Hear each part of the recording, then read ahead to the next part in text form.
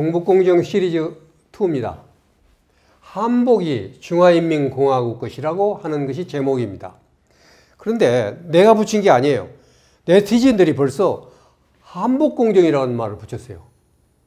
한복공정이라는 말을. 근데 왜 이러는 거 그랬더니 동북공정에 대한 피해의식이 지금 한국 사람들이 상당히 많구나. 이 공정이라는 말은 사실은 우리말에서는 어, 프로젝트란 말로 쓰이지 않습니다. 네. 무슨 작업 공정 이럴 때 쓰이지. 그러나 여기서 말하는 공정은 프로젝트란 뜻입니다. 프로젝트. 영어의 프로젝트란 뜻입니다. 자, 이 중국이라는 문제도 중국이라는 문제도 전체 역사상 중국이란 나라는 존재하지 않아요. 모두가 한나라, 위나라, 청나라, 오나라, 당나라, 여나라, 금나라, 원나라, 명나라, 청나라 그렇지 중국이란 나라는 없었어요.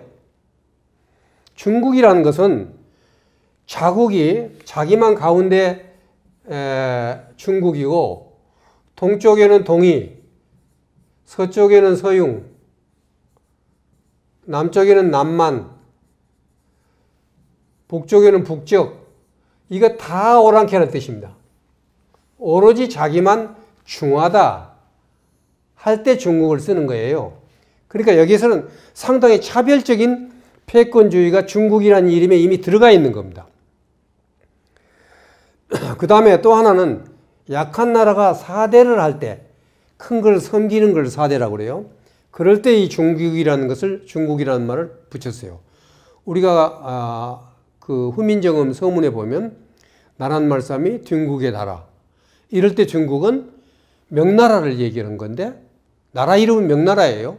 중국이라는 것은 큰 나라를 자기가 아, 예, 이 중국인 명나라를 갖다 높이 부르기 위해서 쓰는 중국이라는 겁니다.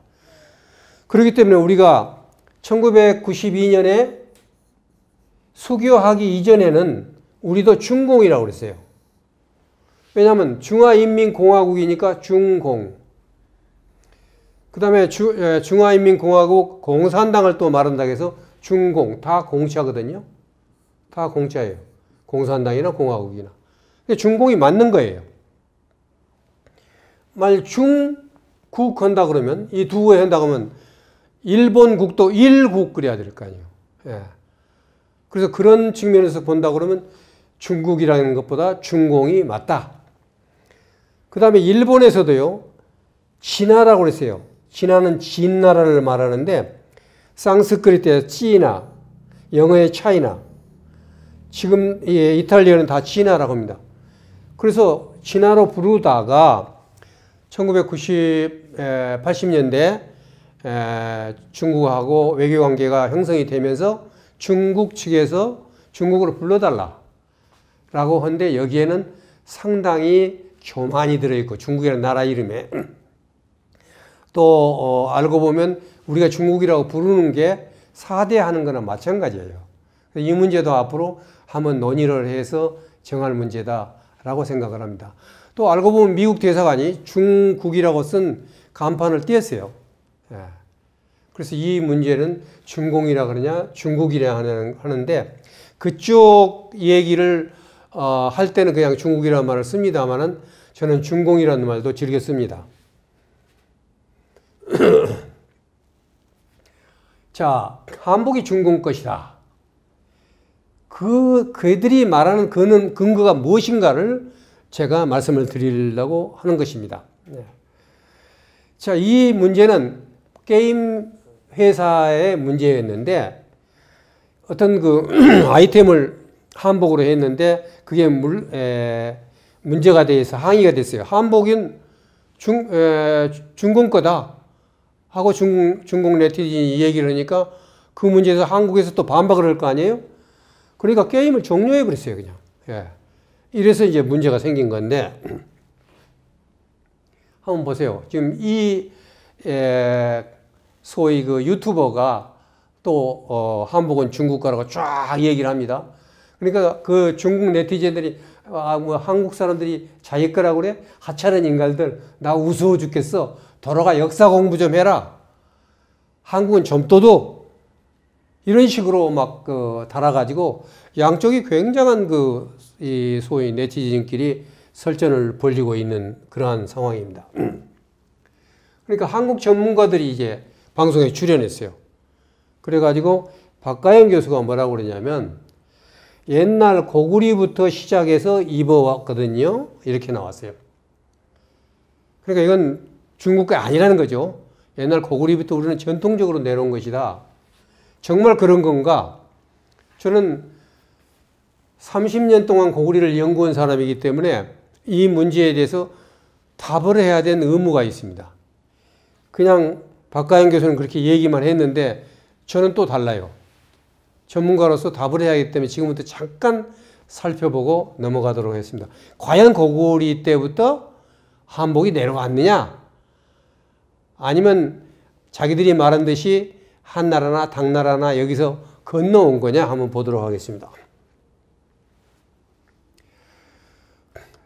지금 보면요. 우선 네이버에 한번 딱 들어 한복 한번 쳐보면 민족문화 대백과사전을 인용해 가지고 전통 한복은 1600년 전간 이어진 고유 한복으로 세계에서 정통성이 가장 길다. 그 근거가 뭐냐? 고구리 고분벽화가 4세기, 6세기부터 되어 있는데 여기에 고구려 복식이 나오고 신라 백제 유물로도 확인할 수 있다.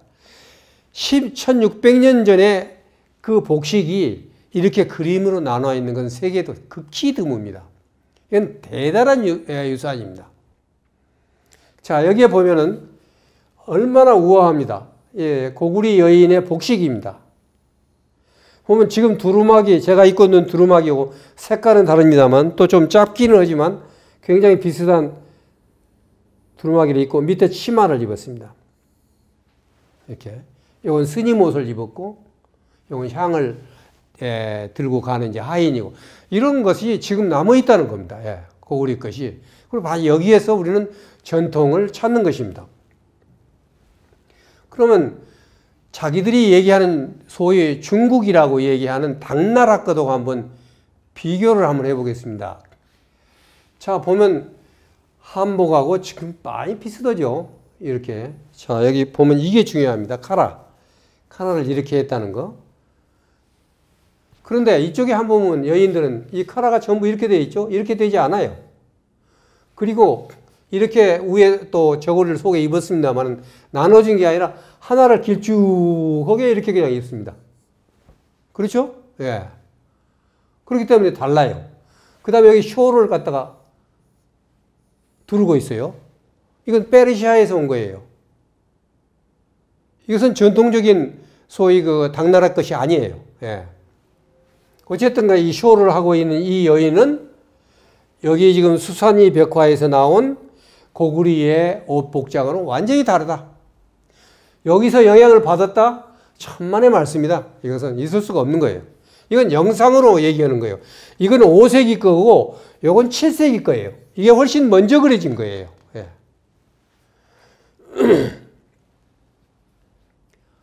자, 이건 유명한 고구리의 쌍기둥 무덤. 한문으로 쌍영총이라고 합니다만, 이것도 5세기 그림입니다. 자, 이건 당나라 영태공주 무덤에서 나온 건데 706년이니까 8세기 거의 200년 후에 그려진 겁니다. 이건 200년 뒤에 그려진 겁니다. 근데 여기 보면 위에 봐듯이 자 두루마기 있고 치마 있고 자 이런 형상이죠. 자 당나라 아, 여인들 보세요. 아까 봤듯이 긴 이렇게 옷, 옷을 입고 그 다음에 쇼를 갖다 두르고 이건 페르시아에서 온 거라고 그러죠. 이런 식으로 해가지고 완전히 달라요. 어. 어떻게 이게 영향을 줍니까? 이건 8세기의 그거고 이것은 5세기, 5세기의 그림이에요. 어떻게 이게 영향을 줄 수 있는 겁니까? 그건 불가능하다는 거죠. 자, 이건 당나라 이현 무덤인데 이게 고구려 사람입니다. 고구려 사람은 닭을 갖다 신으로 섬겼기 때문에 닭 깃털을 이렇게 꽂는 것을 굉장히 자랑스럽게 생각했어요. 이게 아주 아이콘이에요. 예, 고구려 사람들의. 이 고구리 사람 옷은 지금 아까 봤듯이 이런 식으로 길게 이게 좀 짧습니다. 지금보다는 반 코트쯤 돼요. 반 코트쯤 좀 짧지만 아, 지금 우리 두루마기하고 같고 바지를 입었죠. 예. 이 사람들은 보면 달라요. 여기가. 그리고 옷도 좀 뒤에나 이런 거 봤을 때 전혀 다르다는 거예요. 여기. 이 당나라 관리입니다. 여기는 고구리.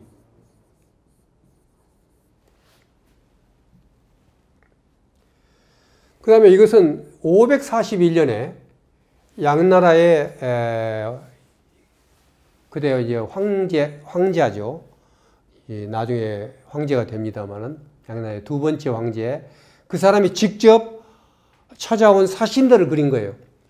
그러면 신라, 백제, 고리국이죠. 왜 고, 고구리를 고리라고 그랬냐? 고구리를 고리라고 했느냐? 고구리는 413년 장수왕 때 에, 즉위하자마자 나라 이름을 고구리에서 고리로 바꿉니다. 그래서 고리국이라고 되어 있어요. 고리국이. 이건 왕건의 고리가 아닙니다. 왕건의 고리가 아닙니다. 네. 자, 여기서 보면 여기도 마찬가지로 다 깃털을 꽂았죠. 그리고 신라나 또는 백제나 고구리나 다 이런 두루마기 같은 걸 입고 있어요. 이런 식으로. 그 다음에 바지 입고. 아주 전통적으로 고구리 때부터 내려온 거 지금 입고 있는 겁니다. 예. 제가 입은 바지, 그 다음에 두루마기. 제가 조금만 작게 입으면 그때와 똑같은 거예요. 자, 이것이 좀 크, 넓, 넓을 뿐이지 같은 거예요, 이게. 예.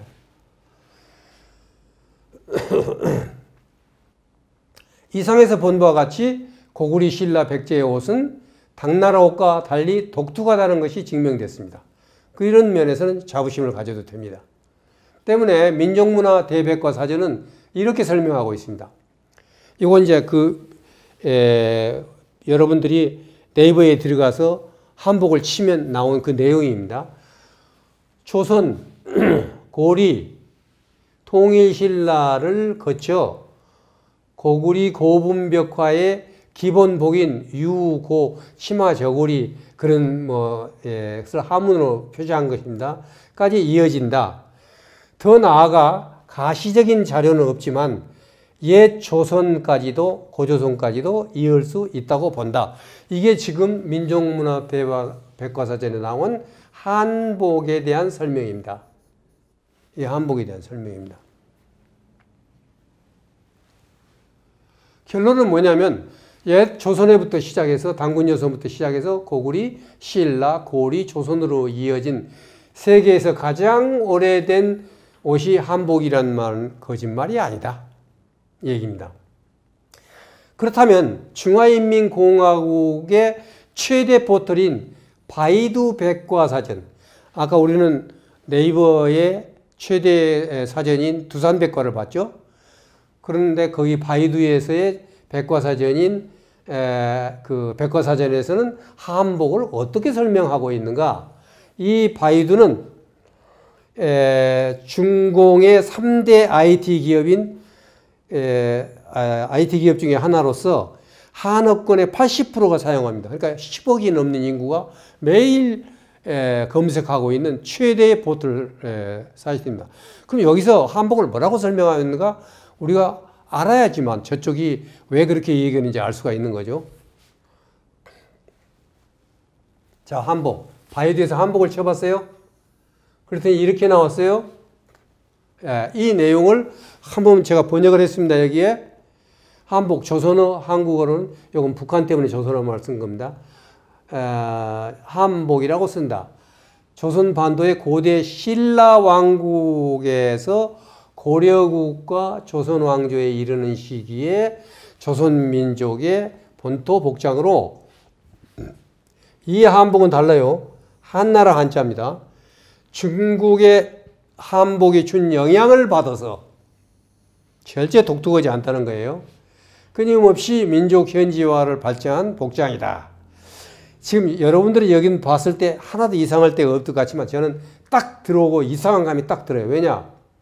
여기에 고구리도 빠지고 고, 예 조선도 빠지고 신라부터 시작됩니다. 그 이전 거 싹 빠졌다는 거예요. 이 생각을 못 해요, 사람들이. 아까 우리 백과사에는 고구리부터 거슬러 올라가면 예 조선까지 올라간다고 그랬죠? 그랬는데 싹 빠져버린 거예요, 여기요. 그리고 신라부터 시작하는 거. 여기에 굉장한 음모가 숨어 있다는 겁니다. 그래서 왕시고리 때 최초의 형식이 나타나가지고 앞에 싹 빠졌죠. 고구리 벽화 이런 것은 왜 그러면 고구리 벽화를 뺐냐가 이제 앞으로 나옵니다. 그래가지고 조선시대 때 형태가 갖추어졌다라고 나와 있습니다. 이것은 지금 그쪽에 나온 예, 바이두입니다. 그러면 한복의 유래 이거 아주 에, 그 중요한 문제인데 이 한복의 한복이라고 그러는데 한복의 유래는 그 뭐 어디서 왔냐? 한복. 이 한이라는 건 어디서 왔느냐? 이 부분을 여러분들은 아, 한국이니까 한복 이럴지 모르지만 여기에 역사 침탈을 하는 데서 굉장히 핵심적인 내용이 들었다는 것을 읽어낼 수 있어야 돼요. 과연 역사학자들이 읽어낼는지 모르겠습니다만은 자 전통적으로는 고리옷이라고 한다. 옛날 조선시대도 고리라고 왜냐하면 이게 코리아가 됩니다. 그래서 계속해서 고리고리 합니다. 어, 일본에도 가서 보면 임진왜란을 에, 고리 그러니까 고려의 역이라고 그래요. 고구려 전쟁이라 고려 전쟁이라고. 예. 자, 역사에서 조선 반도에는 이전에 마한, 진안, 변안이라는 나라가 있었다. 조선족들은 스스로 사만 민족이라고 그런다. 사만. 또는 사만 자손이라고 그런다. 또는 한민족이라고도 한다. 그렇게 하죠. 우리가 한민족이라고 합니다, 지금. 이상할 거 없죠. 자, 그런데 이게 지금 그러기 때문에 한복이라고 했다. 그러기 때문에 한복이라고 했다. 이거 굉장히 심각한 문제가 여기서 발생합니다. 네. 한복은 한민족의 옷으로 사만민족 또는 사만자손, 마한, 진한, 변한 자손들의 옷이다. 자, 여기 보면은 얼뜻 보면 뭐, 뭐, 우리 맞아. 마한 지난 변화 있었고 우리는 한민족이고 한다 이게요. 자 그런데 사만을 한번 찾아봅시다. 이 바이두에서 사만을 한번 찾아봤어요. 그랬더니 이런 답이 나왔어요. 이런 이런 답이. 자 마한 진한 변화를 사만이라고 한다. 이건 다 아는 거죠. 어. 마한 진한 변화인데 당시 북부에는 한사군이 있었다. 낭낭현토 진보님든 그 다음에 밑에 낭낭현토 진분이 있었고 밑에는 마한진한 변환이 있었고 마한진한 변환이 여기가 있고 위에는 한나라 땅이었다는 겁니다. 한사군 땅이었다는 겁니다. 예. 지도를 바이두에 나온 지도를 한번 보겠습니다. 이건 바이두에 올라와 있는 지도입니다.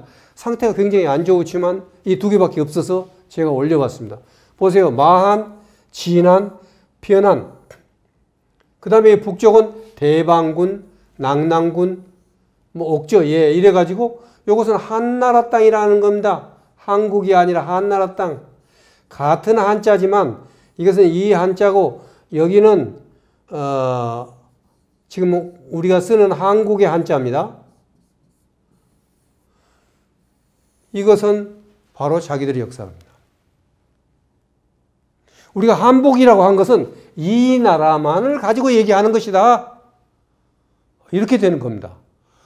이거 지금 굉장히 교묘하게 들어가 있는 겁니다. 한복이라는 말을 가지고 결국은 우리가 말하는 고조선, 그 다음에 고구리, 그 다음에 발해를 다 먹어버린 겁니다. 그 속에. 왜냐하면 한나라는 만치난 변은 이쪽의 후손들만 입고 있는 것이다. 그러니까 아까 제가 얘기했던 고구리 이런 것들 다 날라간 겁니다. 바로 거기에 어, 한복이 아무것도 아닌 것 같지만 엄청난 음모가 거기도 숨어 있다는 것이고 거기에 바로 동북공정의 결과라는 그 에, 결론이 나오게 되는 것입니다. 자, 마하는 또 거기서 아직 계속됩니다. 그 설, 제가 번역한 겁니다. 중국의 지방 정권인 부여가, 부여는 우리 역사를 우리는 보고 있는데 그 사람들은 중국의 지방 정권이에요. 부여 사람에게 병탄되었고 진왕과 변화는 신라에 병탄되었다. 이제 삼국 시대로 넘어가기, 넘어갔다는 얘기인데 이 얘기는 뭐냐면 원조가 내려와서 백제를 세웠는데 이 원조는 부여에서 왔어요. 부여에서 태어났죠. 이제 아버지가 아, 에, 추모, 즉 주몽을 찾아갔는데 왕이 되어 있으니까 밑으로 내려와서 백제를 세웠어요. 근데 부여는 지금 중국의 지방 정권이라고 하는데 거기서 내려가서 세웠다는 거예요. 백제는 또. 그래가지고 여기서 아주 자세히 보면은 예, 백제는 기원 660년에 당나라에게 망했다. 그러니까 뭐냐면 당나라는 그 이전에 웅진 도독부를 세웠다. 그러니까 백제도 여기 보면은 이 내용으로만 보았을 때는 완전히 중국 역사가 되는 겁니다. 나중에 보겠습니다만 지도에도 그렇게 나옵니다. 그리고 그것을 예, 백제와 고구리가 중국의 역사라는 걸 하기 위해서 여기다 뭐 백제와 신라는 서로 다른 민족에 속한다. 우리는 고구리, 신라, 백제는 한 민족으로 보고 있죠? 아니라는 거예요. 다른 민족이라는 겁니다. 요건 지금 어, 바이두 백과에 그대로 나와 있는 걸 제가 그냥 번역했을 뿐입니다. 단 한자도 제가 추가한 거 없습니다.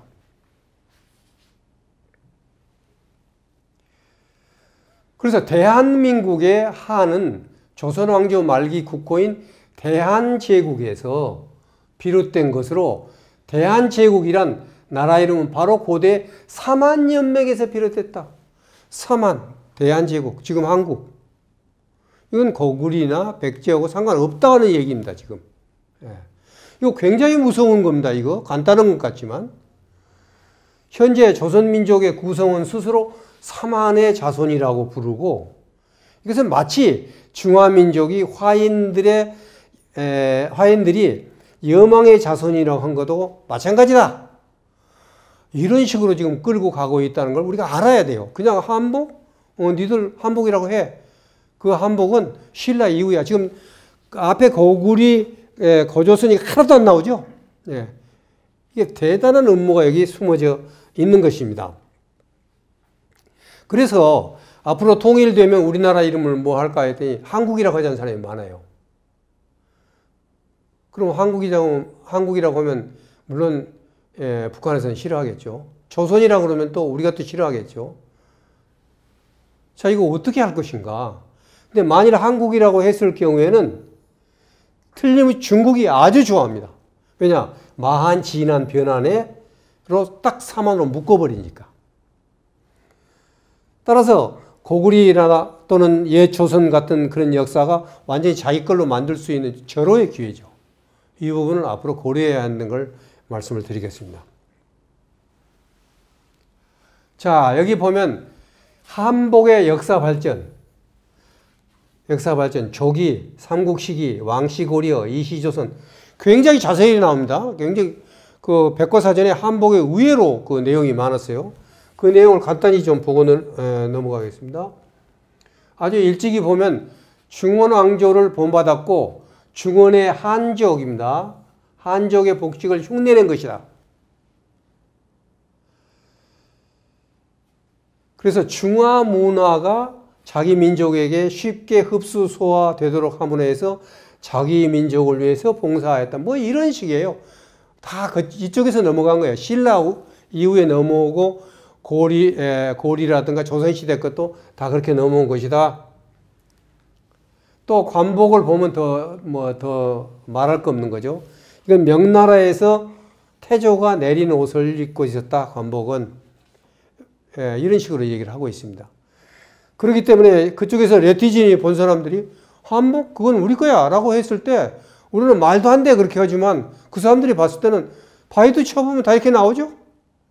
그렇게 할 수 있는 거예요. 그 사람들이 얘기할 수 있는 것은 왜 이런 식으로 자기가 역사를 왜곡해 놓은 것을 보면서 하기 때문에 그렇게 나올 수밖에 없다는 것입니다.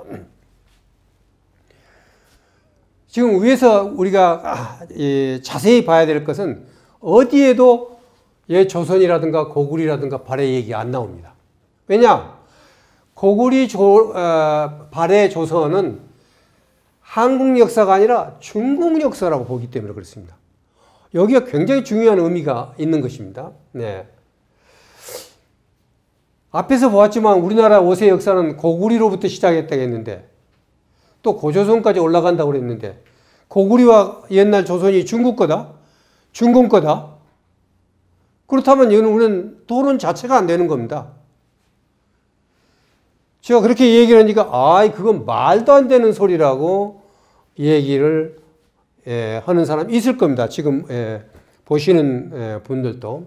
그러나 불행하게도 역사 침탈인 동북공정을 이미 끝났습니다.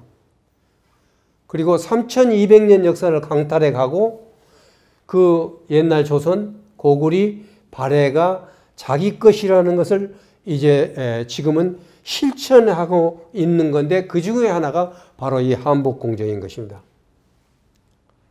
자, 시진핑 조금 좀, 아, 그러면 너무 억울한 감이 있어서 제가 좀 이 문제는 좀 짚고 넘어가겠습니다. 자, 시진핑 부인, 어, 펑리, 어, 펑리 위아, 위안이가 치파오라는 옷을 입고 있습니다. 이게 치파오입니다. 치파오. 이것은 만주족 옷입니다.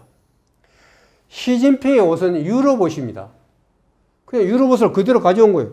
그러면 시진핑 중국의 옷은 서양에서 온 것입니까? 중국의 옷은 청나라 것입니까? 이게 지금 한복, 전혀 한복이 없어요, 지금. 한복이 아니에요. 자기들이 말하는 한나라의 한복이 아니라는 겁니다. 지금 바이두에 보면, 바이두에 치파오를 한번 찾아봤어요. 치파오. 자기들이 말하는 중국 옷이라는 치파오를 찾아보니까 중국과 전 세계 중국 여성이 입은 전통 복종이라고 되어 있어요. 치파오가. 그런데 누구도 치파오를 한나라 한복이라고 전통 옷이라고 부르지는 않습니다. 왜냐? 이 치파오라는 것은 만주족 기인들, 이 기인이라는 것은 건국 공로자들에게 예, 예를 들어서 어떤 군, 화성군을 너 가져. 그리고 거기서 세금 받아먹는 사람을 기인이라고 해요. 그 기인이 입는 것이 치파오예요. 기인이 입는 옷이 치파오예요. 예. 그렇기 때문에 이런 옷들, 이것은 만주족 옷입니다. 전통 한복이 아닙니다. 전, 전통 중국이 아니, 중국 옷이 아니에요. 자, 이게 보죠. 명나라를 멸한 만주족은 한족, 그, 한족을 만족 품, 에, 풍속 에 동화하게 하기 위해서 머리에 하는 변발, 그 다음에 치파오를 강요했어요. 이거 안 입으면 안 돼요. 머리 이렇게 안 깎으면 안 돼요. 예, 그렇게 강요했다는 거예요. 따라서 청나라 치파오는 한복이 아니다. 중국 전통 옷이 아니다. 그럼 원래 한나라 옷은 어떻게 되냐? 소매가 굉장히 넓었어요. 광동성 동평 한묘에 나온 벽화인데 굉장히 넓습니다, 이게. 예, 소매가 얼마나 넓은가 보세요. 이런 식으로. 굉장히 넓어요. 지금 여러분이 보는 치파오, 어, 이 치파오는 그렇게 넓지 않습니다. 전부가. 보세요. 넓지 않죠? 넓지 않아요. 그러니까 이거는 전통, 전통 어, 옷이 아니다. 여기도 보세요. 에, 지금 당나라 때 이렇게 입었죠. 이런 식으로 당나라 옷. 그런데 하, 전통 한복은 이렇게 넓었다는 거예요. 지금 짧죠? 당나라 때 이미. 그러면 한나라 것이 당나라에도 적용되지 않았고 더군다나 만주족 옷과는 전혀 다른 그런 옷이라는 것을 알 수 있는 거죠. 구당서에 보면은 에, 이렇게 나와요. 태상의 음악은 호곡을 연주하고 호곡이라는 것은 호랑케의 곡을 연주하고 귀인들의 식사는 전부 호식을 대접하고 호식도 오랑캐 음식입니다. 선비와 부인들은 다투어 호복을 입는다. 이건 오랑캐 옷입니다. 지금 여러분들이 여기 보면은 당나라의 그 여자들이 딱 있는데 보면은 남자 옷을 입고 있는 남, 남자 어, 있어요. 이게 다 호복입니다. 호복이에요. 그 당시에 이렇게 유행이었어요. 그 오랑캐 옷을 입는 게. 왜냐하면 편리하니까. 네.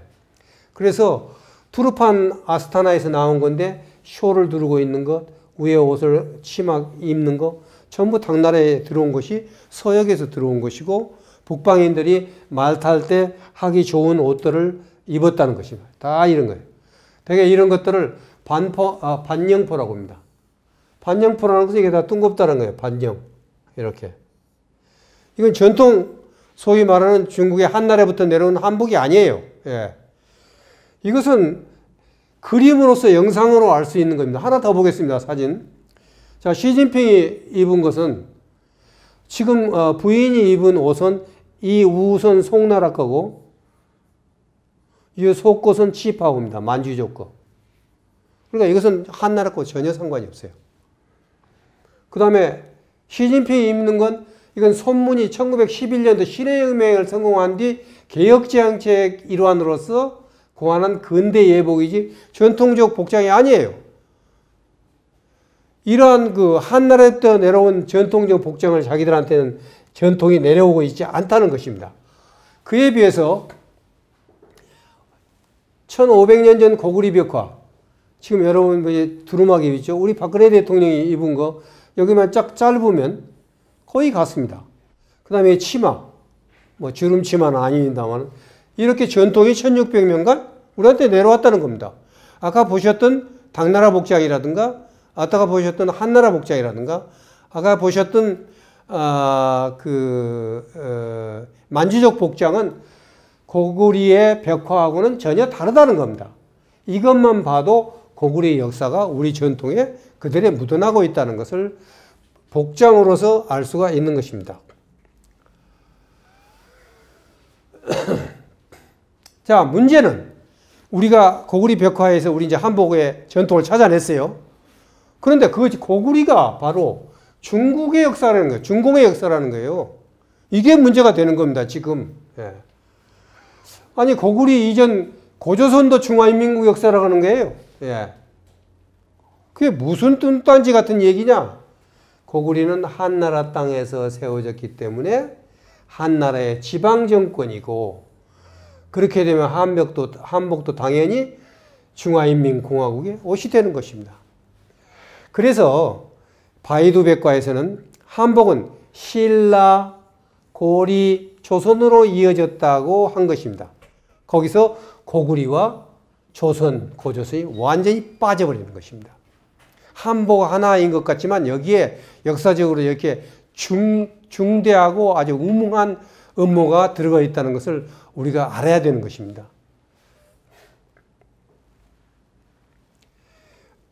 뭐이 얘기 들어보면 아니 고구리가 어떻게 자기 것이야? 당군 조선이 자기 거라고? 이건 말이 안 돼. 못 믿겠다고? 자, 지금 예, 이렇게 얘기하는 사람들은 에, 그렇게 간단치 않습니다. 지금 에, 이어지는 김치공정, 손북공정이라는 것도 있어요. 이런 거 보면 얼마나 엉터리로 가짜 뉴스를 자기들이 만들어내는지 한번 알 수 있는 것입니다. 김치가 중화인민공화국이라고 한다든가, 에, 중화공화국 것이라고 한다든가, 또는 손흥민이 중국인이라고 또 얘기를 에, 하고 있으니까 정말 상상을 초월하는 얘기가 여기서 벌어지고 있는 것입니다. 손흥민이 손오공의 자손이라고 또 한다든가, 그러니까 한국 사람들이 보고, 아, 이거 손북공정이야. 이건 제가 붙인 게 아닙니다. 네티즌이 이렇게 붙였어요. 이건 김치공정 또는 김치도발 이런 식으로 어, 좀 얘기를 하고 있습니다. 그래서 자 이거 이제 끝나고 나면 또 다시 정말 뭘 가지고 김치가 자기 거라고 그런가 김치 공정에서 다음에 보도록 하겠습니다.